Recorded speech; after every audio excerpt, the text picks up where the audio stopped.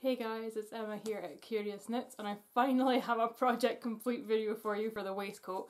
This was a long time coming, part because it's something I've never done before so there was lots of uh, different instructions for the pattern that I've never done before so it was just a learning process in part just because I wasn't enjoying it that much um, so I was like putting it aside and doing other things or whatever but it's finally done um, I will go through with you all the uh, mistakes that have been done in it. So uh, here it is, all in its glory.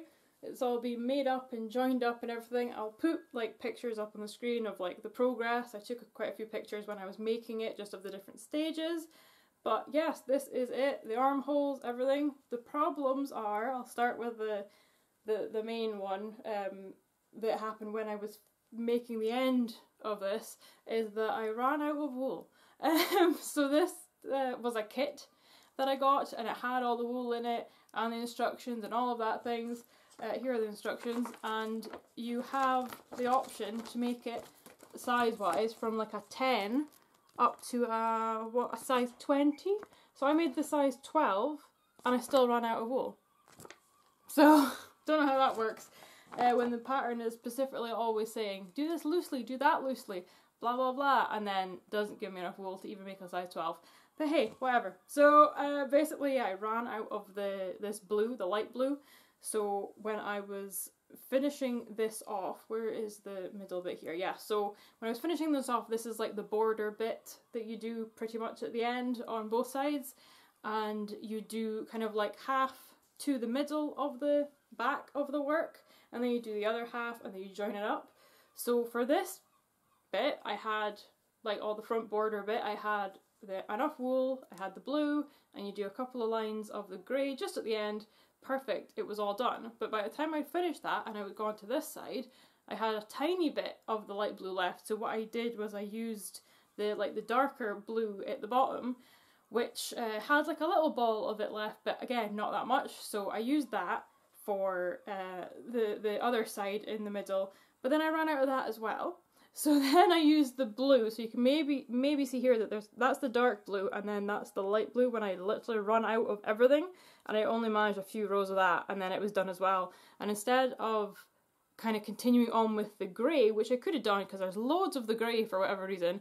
I mean it is the body of the the waistcoat, but yeah, there was loads of grey. So I could have, if I'd wanted to, I could have done that and carried on, but I was like, you know what, it's, it's a bit of, I've, I've made a few mistakes already, so this isn't going to be going anywhere, it's just gonna uh, sit in a box probably to be honest, so let's just end it and do the little, uh, the two rows of grey and just finish it, and that's it, I couldn't do anymore. and the other main uh, mistake that I had made is the armholes. One of them is much bigger than the other one. So um, as I say, I will I'll put some pictures up here um, of the armholes on my like mannequin uh, just to show you. But um, yeah, I think one of the the side pieces, which is this this bit here, where you're working on um, the armholes and also like the neck, around the neck and everything. I think on one of them what I had done, and I didn't notice this until it was done, so I'm not sure how I managed to do this, but I did.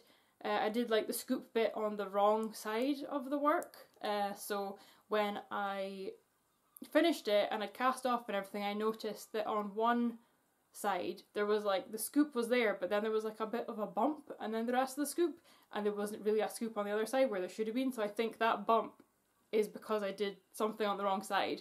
Uh, but yeah, so that was already that was like first couple of pieces of, of work you do are the, the front two sides. So uh, yeah, that went well. Not, but yeah, this is it. Um, I'm wearing a long sleeve top so that I can put this on and just show you guys, but it's really hot, so this will just be a quick show of what it looks like on. So the other thing, the last thing, was that there's a, you know, it comes with a, a button to sew on, but for whatever reason, I don't know, lost in transit, I don't have the button. It might be in the back of my cupboard somewhere, I'll have a look. Um, but yeah, there's no button. So at the moment, there is no uh, button to button this together. I can easily just get one somewhere. Um, and there was a part of this that is supposed to be like a buttonhole um, that I knitted, but I can't really find it. So uh, yeah, I'll just I, if I do get a button, I'll just make that up as I go along. But yeah, that is it on, if you can see, and the armholes is uh, the I think this is the smaller one, and then this is the bigger one. I can't actually see from on here, uh, but yeah, as I say, there will be pictures to show you. But yeah, this is the waistcoat. It's finally done. It doesn't look perfect, but it's finally done. And now I know how to do it. I will probably do it again, but with completely different wool because as I said in my uh, progress video, this specifically the uh, the grey was really hard to work with because it's all loops and whirls and my needles kept going into all the, the loops and whirls on the the grey and not through to the actual like thread. So I think I will grab a different wool at some point and do it again because now I know how to do it. It's not so scary. Like I had never done this before, so I think for me never having done this before, I am actually quite happy with how it turned out. It's not a complete disaster. It does actually look like a waistcoat. you can tell it's that. So I am happy with that. But yeah, as I say, the the instructions like I'd never done anything like this before. There's there's a lot to go through. Um, so I'm glad I, I'm glad I've done it. But yeah, as I say, if I do it again, I will definitely pick a different wool that you can actually see the, the the pattern in because you can't really see anything in this. And the the like the the front pieces these bits at the end that I was mentioning before you're supposed to be um like picking up and knitting these. So like this has all been cast off. I'm not on needles anymore but you have to use your needle and just go in and physically put on stitches, which again I've never done. So I'd looked that up, um, and and they, there was a there was a good video. I'll link it down below if I can find it again. Uh, that showed you how to do it, but that video it was using just like regular wool that you can see the whole pattern in. So they show you exactly where to go in to pick up these stitches to make it look right.